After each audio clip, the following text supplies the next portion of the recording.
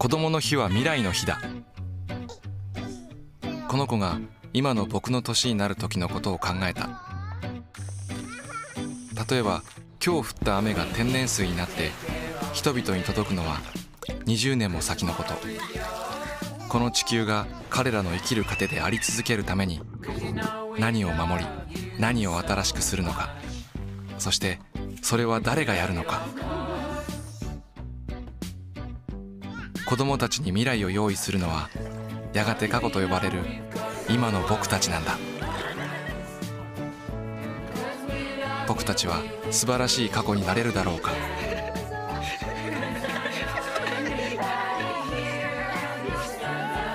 ここは天然水の森。私たちサントリーは水を未来に届けるための活動を続けています。ずっとずっと水と生きる。サントリー。